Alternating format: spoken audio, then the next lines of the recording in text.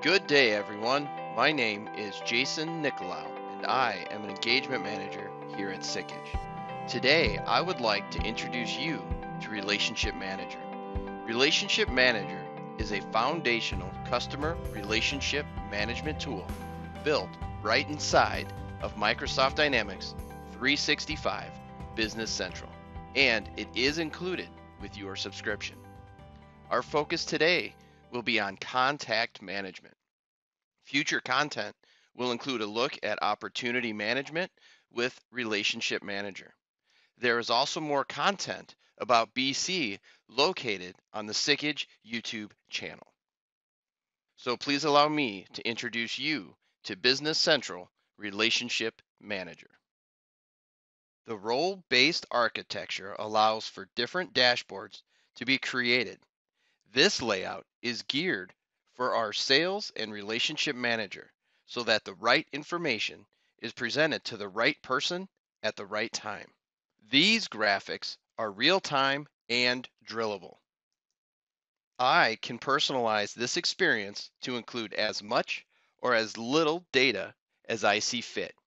Users can add and subtract columns without impacting the functionality of Business Central. Communication with your customers is a critical piece of the sales process. As companies grow, the contact list grows, and so do the number of activities that need to be managed. This means adding people or adding tools to meet this need. Microsoft certainly offers a full blown CRM tool, and they offer Relationship Manager inside of Business Central to meet the needs of the firms that aren't quite ready to jump into a full blown CRM product. Relationship Manager builds the foundation and discipline for the future when a more comprehensive CRM product is required. Business Central organizes contacts as companies or people to retain visibility at both levels. The contact card is organized in a way very similar to a recipe box. There is promoted information that is visible at all times. If I drill into that information, I could see a little more detail about this particular contact. And there is one more level, which is information that may not be useful for every transaction, but it is information that is still being captured by Business Central. The Profile Questionnaire Fast tab is where you get to record specific data about the contact. This can be completed by your customer service team, the sales team, even delivery drivers. This is a list of all the questions that you would ask for this type of contact.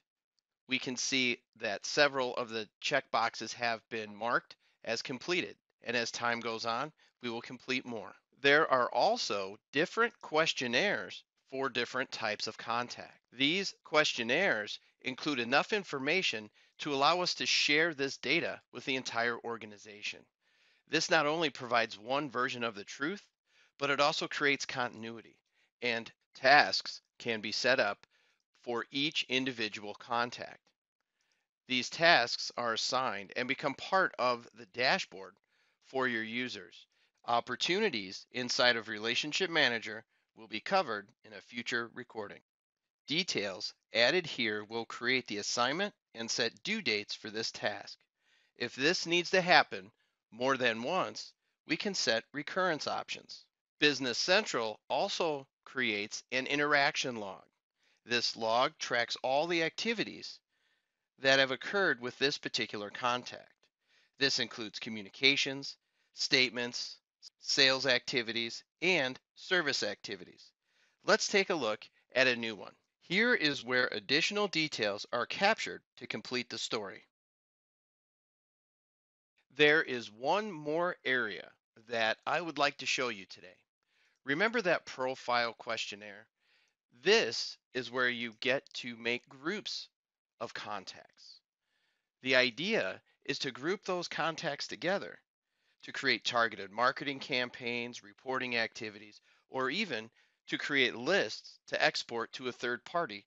The idea is that different criteria can be applied to create a group, and that is what's called a segment. Now, this segment can have different interactions. There can be different opportunities or campaigns attached to this particular segment. BC will track the activity and attach costs if you see fit.